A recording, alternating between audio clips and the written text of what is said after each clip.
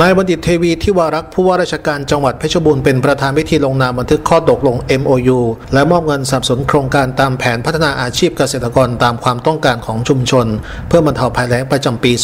2558ทับ59 มาตรการที่ 4 ระยะที่ 2 เพื่อการช่วยเหลือเกษตรกรและประชาชน ให้สามารถประกอบอาชีพและสร้างรายได้ ให้สามารถดำรงชีวิตผ่านวิกฤตภัยแล้งไปได้ณห้องประชุมหนึ่งชั้น 5สารกลางจังหวัดเพชรบูรณ์ทั้งนี้จังหวัดเพชรบูรณ์ได้จัดประชุมคณะกรรมการบริหารโครงงการระดับจังหวัด เพื่อพิจารณาอนุมัติโครงการระยะที่ 2 เมื่อวันที่ 15 ธันวาคม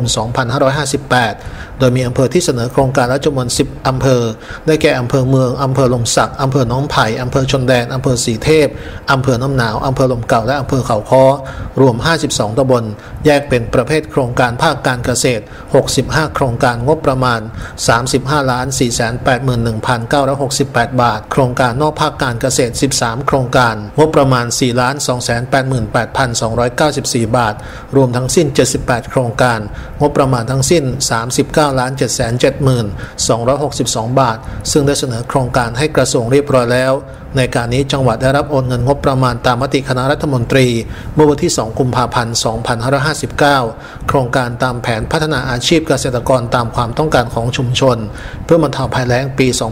2558 ทับ 59 ระยะที่ 2 ครั้งที่ 1จำนวน 20 โครงการ 9 อำเภอ 16ตำบลเป็นเงินงบประมาณ 8 6 3 6 3 9 1 บาท โครงการภาคการเกษตรจำนวน 5ตำบล 7 โครงการ งบประมาณ 4 3 4 8 0 9 7 บาท โครงการนอกภาคการเกษตรจำนวน 11ตำบล 18 โครงการ 13 โครงการ งบประมาณ 4 2 8